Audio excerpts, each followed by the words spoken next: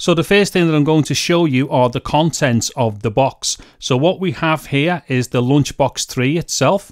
Then we have two screws which we use to screw in the SSD into the lunchbox. We're also given a little Allen key which fits those screws.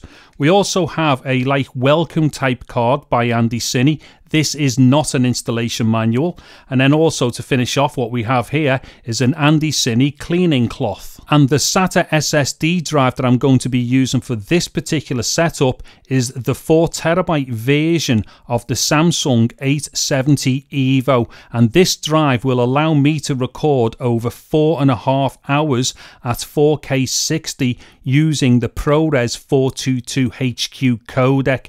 Now, of course, if you drop that down to something like 29.97 or 24 or 25 frames per second, then you are talking well over nine hours of recording time using ProRes 422HQ. In fact, it's probably slightly over 10 hours. Now, just before I show you the first use for the Lunchbox 3, let me just show you something which may be a bit familiar to some people out there, and that's the fact that you can just grab hold of your SATA SSD and directly connect it to the SATA port and power support straight onto the back of the Ninja like that.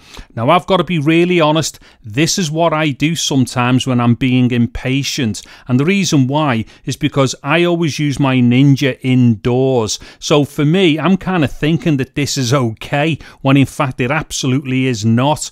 As we can see here on the back, this drive has got a lot of bend in it and a lot of give. In fact, let me just show you. I'll just take it out of the SATA port there. If this drive were to have taken a knock from one side, that could absolutely bend right forward and snap off the SATA power interface inside your Ninja. That's why doing it this way is a really bad idea. However, this first use for the Lunchbox 3 is quite possibly only 50% of a bad idea. So what you do, you just grab the Lunchbox 3 and then just slide it into place into the back of the Ninja like that, making sure that it's pushed right up to the end like that. And then if you want to connect your bare SSD drive straight into the Ninja, what we'll do here, we'll just pass it through the Lunchbox 3 push it onto the SATA power port there. And then what we've got is a very solid connection there.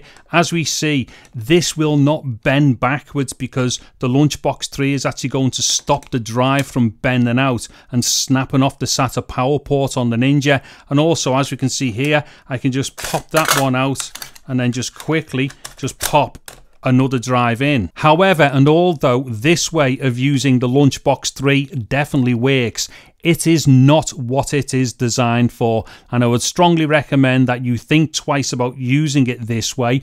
I only use it this way in a pinch because my Ninja is always used indoors. It is not on a camera, it is on a table, and basically, I have very little chances of people walking past and snagging things or slamming into the side of the Ninja itself and potentially snapping off an SSD. So, what I'm going to do now is to show you my second way of using the Lunchbox Xbox 3. And indeed, this is the correct way to use it, and this is the way that it was designed to be used, and that is to screw it directly to the SSD. Now, as you can see here, this is the correct orientation for the SSD to go into the Lunchbox 3. So, what I'm going to do first of all is just put the SSD in the Lunchbox 3, then I will show you where the screws go. But just check the way that this is lined up right now. This is the correct orientation. Also, if I just flip it around this way, as we will see here, that'll give you an idea as well about what the inside or the backside looks like as far as the orientation is concerned. You obviously just have to make sure that you've got your SATA power ports on this side here. And then we just get access to the side of the Lunchbox 3 here.